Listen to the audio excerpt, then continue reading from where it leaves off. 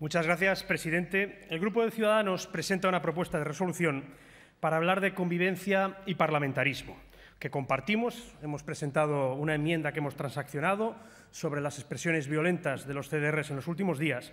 Y dado que solo dispongo de cinco minutos, permítanme que me centre en la parte relativa a la convivencia, la enmienda que hemos presentado y el punto cuatro en el que se refiere a la figura de las personas no gratas. El separatismo basa hoy más que nunca su discurso en la identidad y los sentimientos. Nosotros somos, nosotros sentimos, somos, sentimos. Solo sienten ellos, solo son ellos, los demás que nos den. Precisamente por ello, la utilización arbitraria, sistemática y abusiva de la figura de la persona non grata lo que busca es la destrucción de la identidad y los sentimientos la muerte civil, en definitiva, de la persona que recibe dicha consideración. Decenas de personas que lo han recibido en los últimos tiempos. Señalaba recientemente en esta sesión plenaria, en esta sesión, no en este pleno, el señor Quintorra, que la diferencia entre su lado de la bancada y el de los demás es que en una situación inversa ustedes defenderían nuestros derechos. Mentira. No lo han hecho nunca. Permítanme que vuelva un momento a la cuestión de la identidad.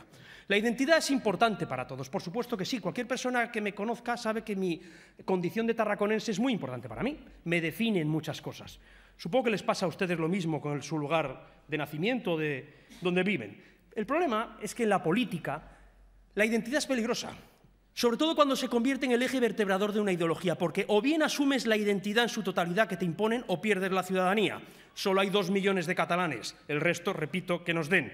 O asumes la identidad tal y como te la exigen, o te despojan incluso de la dignidad. La escala de menor a mayor agresividad de escarnio público que han ido planteando en los últimos tiempos es nauseabunda. Butiflé, colono, nos llaman colonos, no te lo pierdas, colonos. Y no lo hace un loco solitario en Twitter, se lo he leído a muchos de ustedes en las redes sociales.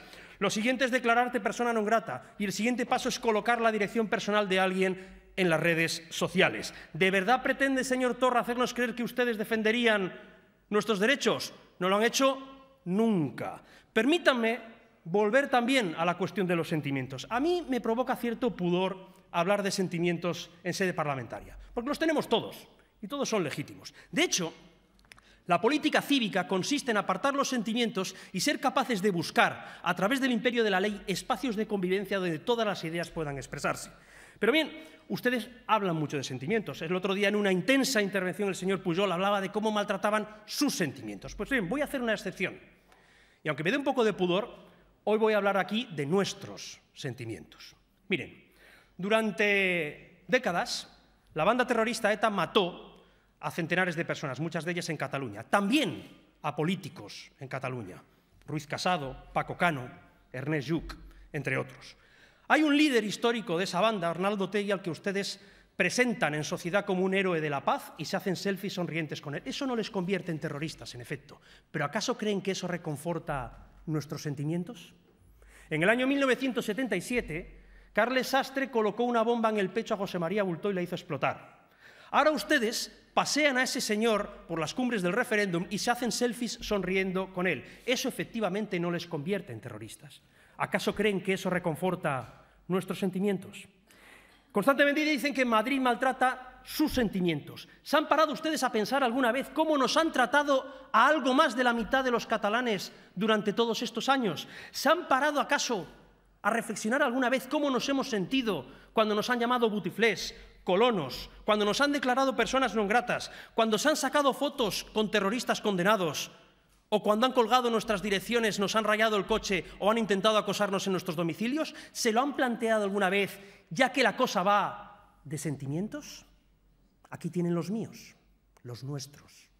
Por lo tanto, y voy acabando ya, van a tener ustedes que ser capaces de racionalizar una cuestión que les cuesta mucho y van a tener que ser capaces de asumirla de una vez por todas. Toda solución de futuro para el conflicto que estamos viviendo de convivencia, como reza la propuesta de resolución, pasará por la asunción de tres principios. El primero es que todos tenemos identidad, no solo ustedes. Todos tenemos sentimientos, no solo ustedes. Y todos tenemos dignidad, no solo ustedes. Muchísimas gracias. Gracias, señor Fernández.